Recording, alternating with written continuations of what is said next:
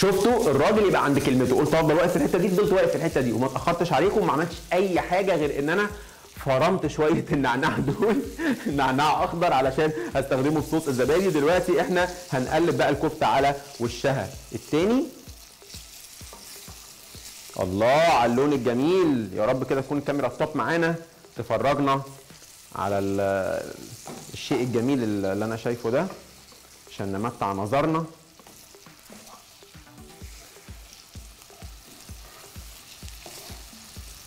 إيه رايكم بقى؟ بالذمة مش حاجة تشجع أي حد يقوم يسمي الله كده ويشمر ويخش المطبخ ويتوكل على الله؟ إيه رايكم في حاجة بال- بالذمة أحلى من كده؟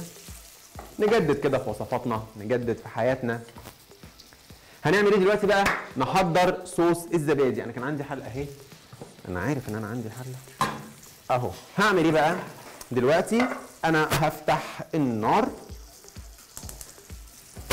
وعندي أربع كوبايات زبادي light هجيب الشوكة وهضربهم كده وقلت لحضراتكم مرارا وتكرارا في نوع من الزبادي في منه light ده فيه إنزيمات خاصة آه، لتسهيل الهضم وتسريع الهضم وبيريح القولون وحاجات كده.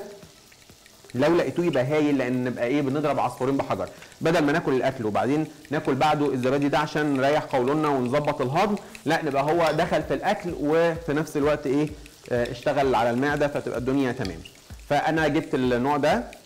وعلى فكرة يا جماعة كلوا زبادي كل يوم. أنا عايز أقول الخميرة اللي في الزبادي دي مهمة جدا جدا جدا بجد لصحتنا وصحه أولادنا. وعودوا ولادنا ياكلوا زبادي كل يوم بجد. ده غير إنه قيمة بروتينية. علبه الزبادي اللي بتبقى تقريبا 110 جرام أو 105 جرام فيها 4 جرام بروتين. إحنا محتاجين ده جدا. هنعمل إيه دلوقتي؟ أنا ضربت الزبادي هنزله على النار. كده؟ نزل عمل تش. هنوطي بقى وهقول لكم ليه. نوطي لأن الزبادي ده أنا مش عاوزه يغلي لأنه لو غلى هيسرط يسرط دي يعني هيفك من بعضه ويبقى فيه مية وحاجات مش لطيفة ابدا. فاللي هيحصل دلوقتي إن أنا هحط شوية النعناع الأخضر اللي فرمتهم في الفاصل كده أهم. وهحط بقية النعناع الجاف اللي كان فاضل معايا. يبقى أنا عندي نعناع جاف ونعناع أخضر اهو وهحط شوية ملح أهم. وهحط شوية فلفل كده.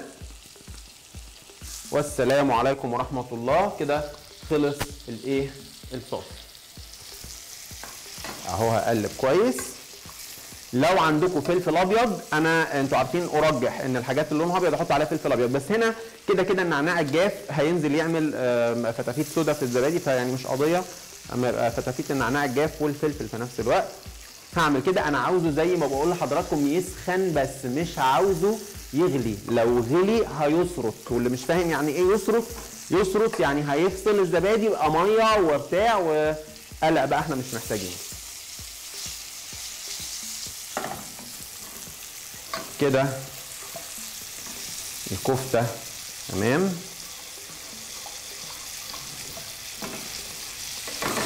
وأنا هنا موطي النار. خلاص الطبق بتاعي كده أوشك على الانتهاء. أأمن بس كده على الكفته أشوف ظروفها إيه. طبعا طول ما إحنا موطيين النار آه هايل إحنا في الأمان أقدر أعلي سنه عشان أنجز نفسي بس ده لو أنا هبقى واقف. مش واقف خليني في الأمان أوطي. أهو. زي ما حضراتكم شايفين. كده. نتأكد كده إن الزيت بيطول كل حتة في الكفتة. زي ما بقول لحضراتكم كده إيه ناخد وندي مع الأكلة بتاعتنا.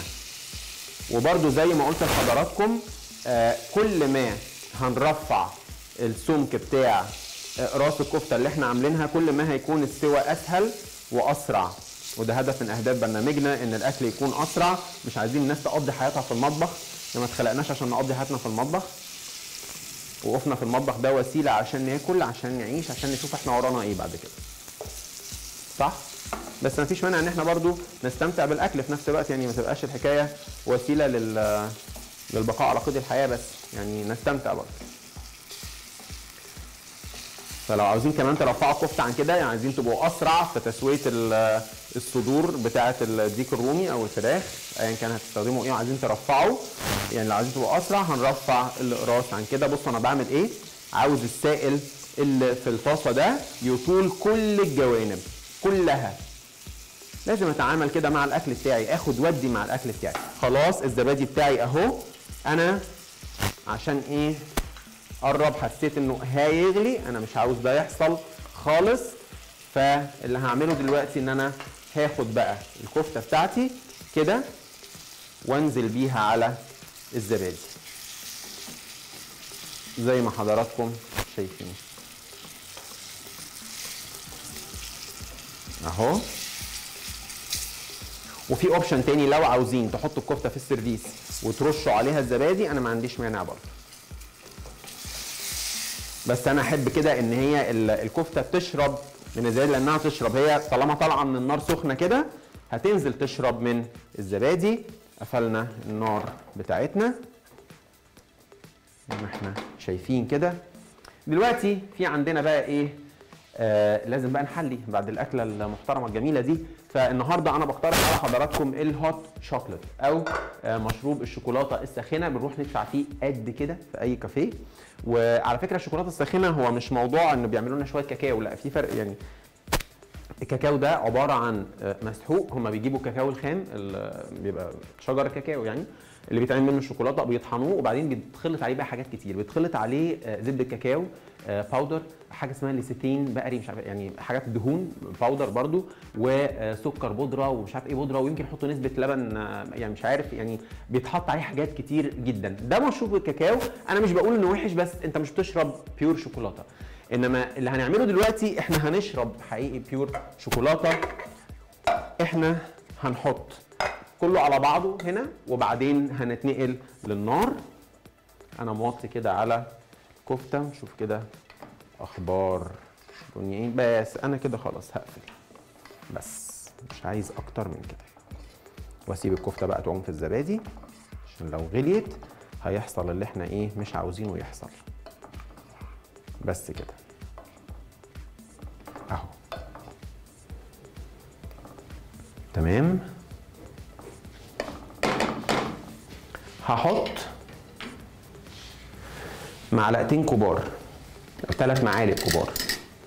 كاكاو خام الخام ده هتلاقوه عند العطارين وبعض ال supermarkets هتلاقوا أنواع مستوردة هولندي يمكن أو حاجة في ألماني والعطارين بيسموه كاكاو المر والناس اللي بيبيعوا خامات الحلويات. هيبقوا عارفين كلمة كاكاو خام وبرضه بيسموه الكاكاو المر.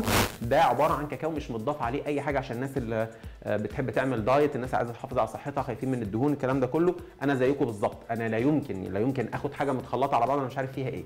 أنا أجيب وأخلط بنفسي. فعشان أنا أدرى إيه اللي يفيدني وإيه اللي هيضرني. في حاجة مهمة جدا للأمانة. لازم تتحط على صنف الكفتة معلقتين كبار نشا.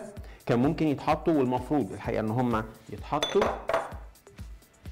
قبل آه، ما أعمل قبل ما أنزل الكفتة في ال- الزبادي. بس أنا طبعا عشان آه، سباقي مع الزمن وعشان مشغول بالحاجات اللي أنا عاوز أقولها لكم كلها فنسيت فاللي هيحصل إن أنا هنزل النشا كده وهقلب. بس الزبادي لسه سخن وأنا برضو مش عايز الزبادي آه، يغلي عشان ما يفصلش. كده نقلب جدا. بس أنتوا ابقوا حطوا النشا على الزبادي الأول وحطوه وهو لسه الزبادي بارد وهو لسه نازل الحله تمام. كده؟ طبعا نقلب الكفتة علشان ما يبقاش في عليها أي نشا نازل ولا حاجة. أهو. تمام.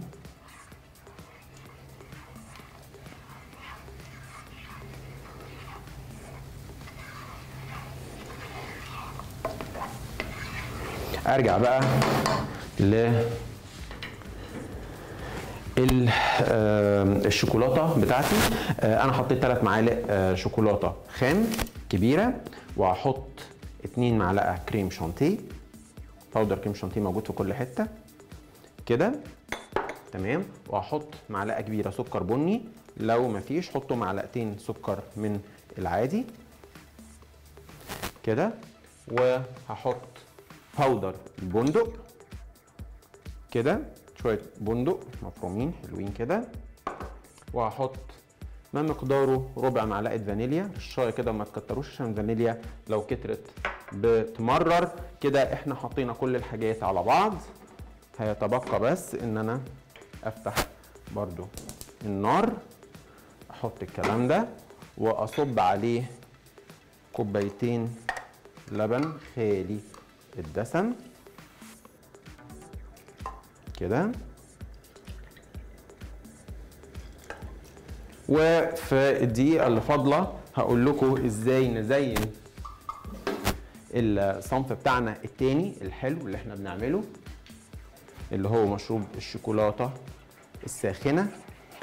أنا هجيب هقلب بس ده كويس. و في الكبة أو في البلندر. اقلب كده. يبقى مضرب السيليكون بقى كده أفضل. أنا خلاص مزجت المكونات أهو. أبدأ بقى إيه؟ ده هيدوب معايا كل حاجة. وأمان جدا على الحلة اللي أنا شغال فيها. مفيش أي مشكلة. أقدر كمان أجيب الحاجات اللي في الجناب دي. عشان وأنا بصب ما تكلكعش. تنزل معايا في الكوباية.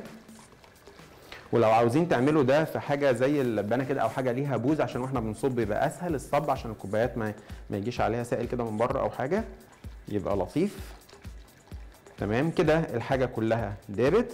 أنا مستنيها بس تغلي. واللي هيحصل دلوقتي بقى إيه؟ طريقة التزيين اللي بقترحها على حضراتكم في الكبة كده هروح حاطط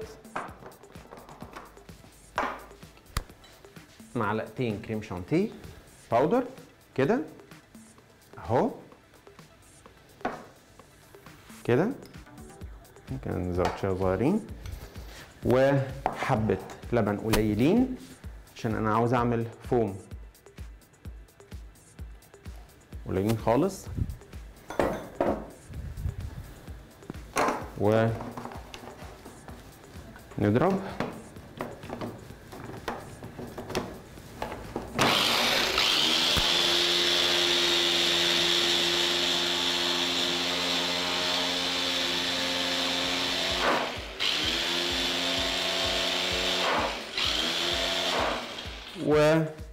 وأنا شايف اهو الحاجة غليت. الشوكولاتة اهو مش محتاجين أكتر من كده. وبكده تكون الوصفة بتاعتنا اكتملت. أنا كل اللي هعمله بس عشان وقت حضراتكم وقت البرنامج خلاص أزف إن أنا أهو شايفين غلي هطفي دلوقتي مش محتاجين انه يفور آه، دلوقتي حالا هتشوفوا معانا الأطباق بتاعتنا أو الطبق بتاعنا والمشروب بتاعنا في شكلهم النهائي هيبقى عامل إزاي. ودي الوصفات بتاعتنا في شكلها النهائي الصنف الرئيسي بتاعنا النهارده صدور الديك الرومي بالزبادي والنعناع وال hot chocolate مشروب ال hot chocolate وزينته زي ما قلت لحضراتكم بالكريمه اللي أنا ضربتها الكريم شانتيه مع اللبن وحطيت شوية آه، شوكولاتة مبشورة على الوش. وبالنسبة للصنف الرئيسي صدور آه، الرومي بالزبادي والنعناع للأمانة المطلقة في حاجة عملتها لازم أقولها لحضراتكم. أنا مش بس حطيت أوراق نعناع أخضر للتزيين أنا كمان حطيت آه، توم مفروم.